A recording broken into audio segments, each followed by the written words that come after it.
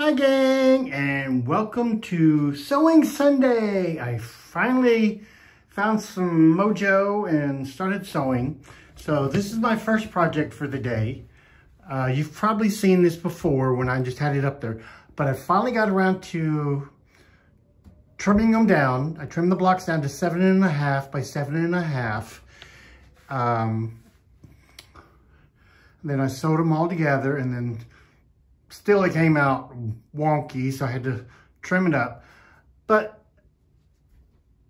I don't know how, how you know, I do not know how this happens. Like I said, they were all seven and a half by seven and a half inch blocks. Yep. Some of the seams match, you know, those match and then it's off. Match, match, match. You know, some of them match, some, and then some of them are off. It's like, okay. And, but they were all, they were all the same size. I don't know. I guess the, I thought I was sewing them all the quarter inch. But anyway, so that is the first project I'm working on.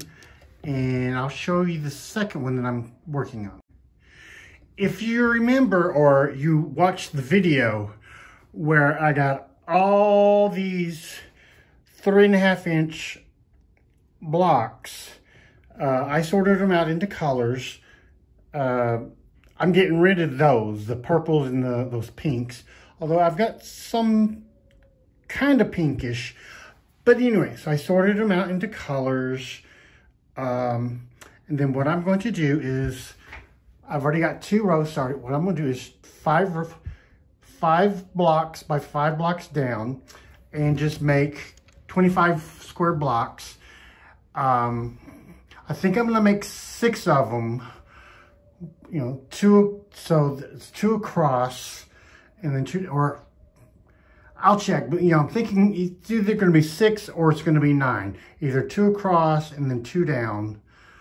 Um, or three across and three down. But, uh,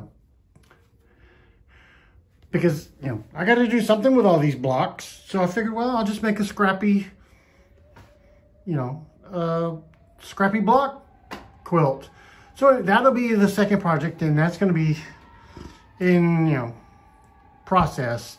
So that's just my go-to project that I'm working on. Um, and then there, there's Big Bubba he, he did pretty good today. Um, he, he didn't conk out or anything. And then I got my computer over there so I can watch uh, YouTube while sewing or listen to music.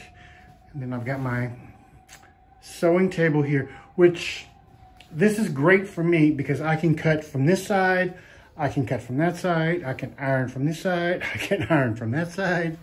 So, or I can cut from this side, um, then there's my iron, my, oil, oil, what do you call it? The pop-up one.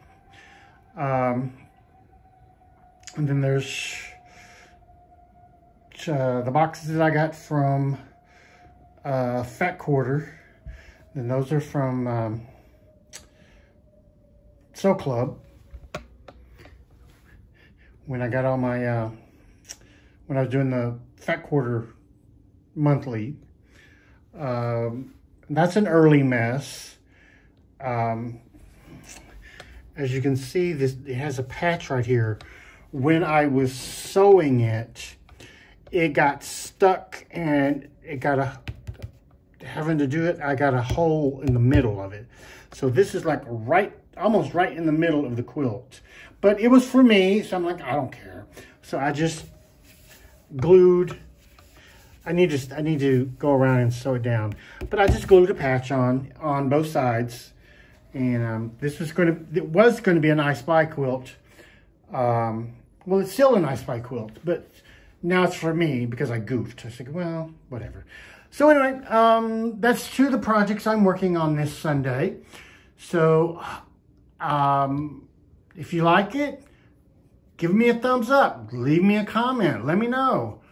Um, any, you know, any suggestions on what I, what I should do for a border, for that uh, for the first project. Um, so hope you like, comment, and um, watched it all the way through. So have a happy Father's Day or Sunday or you know whatever you do. And uh, if you have tomorrow off, enjoy it. And I'll see you later. Bye.